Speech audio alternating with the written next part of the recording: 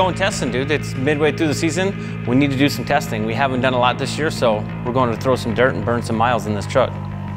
Our Pro 4 is, is kind of, we, we threw the nickname Stilo at it, just got style and swagger. It's just a sick race car, and I don't think I have the most advanced truck. I think I just have the best combo between me, the truck, the components.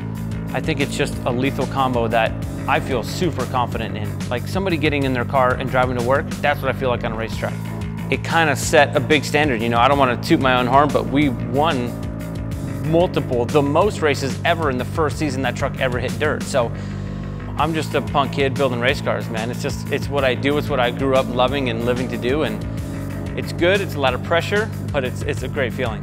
I think pressure in our sport is, it's inevitable. It's always there.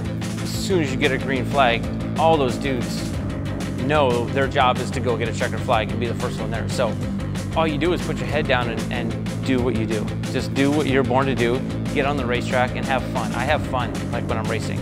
I take it very serious, but at the same time, I'm having the time of my life getting to race a race car and, and to have it be successful and work well and pay my bills and raise a family and a shop and a team from it, I'm like, dude, I, I wouldn't have it any other way. And, and knowing that it's all ours and it's all stuff that we built, went out there and set records with it, like, I hope those records last forever, but they also set the bar super high for me. So the 2016 season is about halfway over, so we've really got to kind of pick up what we've dropped in the beginning of the season. We had some mechanical issues and we tried some things that we shouldn't have in the beginning of the year and it bit us.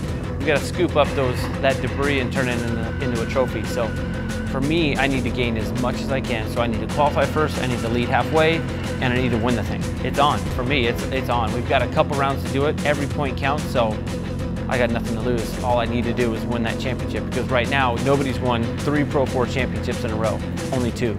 So if I can do it this year, I set the standard and nobody's ever done it. So full kill mode.